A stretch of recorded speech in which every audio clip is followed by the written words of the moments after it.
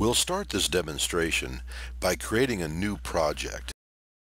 Select the Project folder Create New Project option. Enter the name for the project.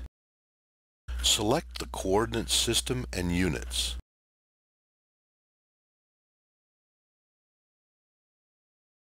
Enter the names, coordinates, and elevations for the boreholes. Set the total depths to zero. We'll set the TDs automatically after all the MIPS data has been imported. If you already have the coordinates in a spreadsheet, they can be imported into the database to bypass this step. Once you've finished adding all the boreholes and their coordinates, copy the MIP files into the new project folder.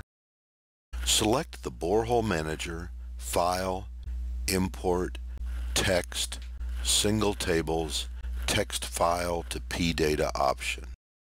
Click on the File Open icon. Click on the File filter in the lower right corner and select All Files. Double-click on the first MIP file that you want to import.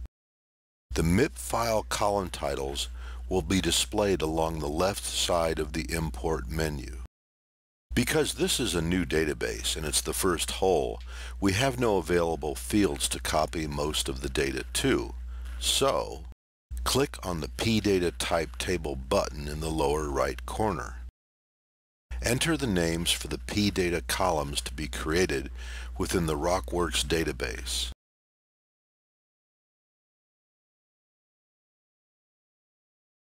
When you're done, these names will appear within the Available Fields list. Drag the available fields to the corresponding tracks. This tells Rockworks which fields to copy the data to. Since the MIPS files don't contain the borehole name, we'll need to check the Import for one borehole option and select the appropriate borehole ID. Click the OK button, and after a few seconds, the MIPS data will be imported into the P-Data table for the designated borehole. When you repeat this process for the next borehole, you won't need to recreate the P-Data fields.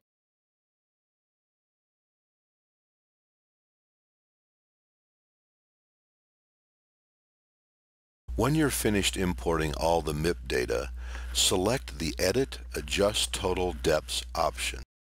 This will automatically set the total depth for every borehole. Now, let's scan all the boreholes to automatically set the project dimensions. Let's check the locations by selecting the Map Borehole Locations to Google Earth Simple option. This provides a good visual check to make sure that we've defined the proper coordinate system as well as the right coordinates.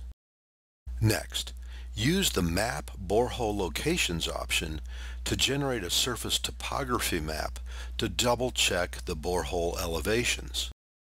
To visually double-check the borehole total depths, select the Strip Logs, Three-Dimensional, Multiple Logs option. Plotting just the log axes will show if any of the total depths are incorrect. Draping a slightly transparent air photo or satellite image over the ground surface may also help to spot bad data. Plotting the individual MIP parameters as spindle diagrams with the Multilog 3D plotting program is another good method for spotting bad data. Once we've established that the data is good, it's time to start modeling. Select the P-Data Model option and create models for the parameters of interest. These models may then be subsequently processed and displayed in a variety of ways with other Rockworks tools. For example, models based on MIP data can be displayed as reveal animations, in which the edges of the model are successively sliced away, thereby showing the interior of the model. Models based on MIP data can be statistically standardized to highlight anomalous zones, such as zones in which the MIP parameter exceeds the mean plus 3 standard deviations. Rotational animations of these filtered MIP models depict the anomalies from all viewpoints.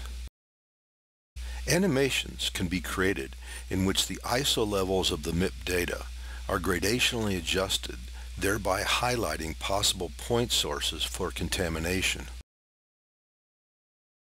MIP-based strip logs, maps, fence diagrams, and plume models can also be exported to Google Earth and projected above the ground surface.